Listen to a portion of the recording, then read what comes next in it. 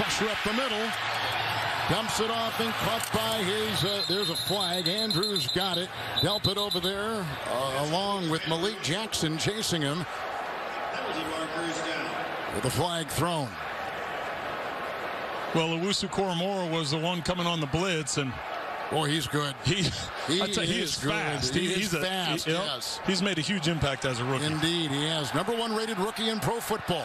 And a player down. Ineligible man downfield. Lamar. Offense, number 74. That penalty is declined.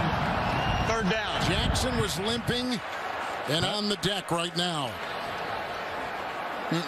That would be devastating. Yeah, he he didn't initially. Let's see, Koramoah. Wusu Koramoah comes down. Oh, and he lands on that left, the back Sure of the was. left heel. Mm.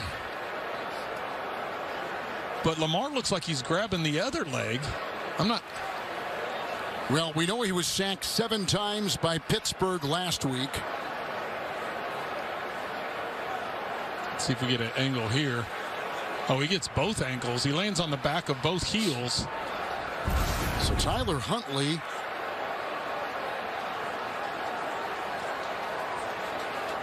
would be the quarterback, and here he comes. He has got to start this season when Lamar missed a couple weeks ago. We're going to take a look at Jackson, who is everything to this offense, clearly. Huntley comes in. First year out of Utah.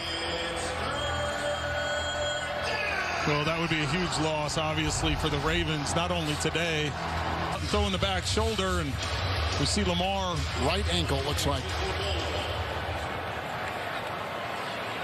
saying, hold on here.